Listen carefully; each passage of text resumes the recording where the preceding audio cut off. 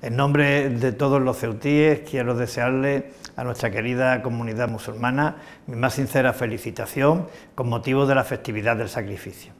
Esta es una tierra de convivencia y de respeto.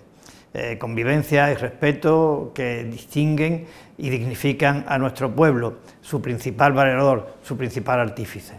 Por tanto, eh, quiero aprovechar esta felicitación para también transmitirles a todos mis mejores deseos de salud, de amor, de paz y de bienestar.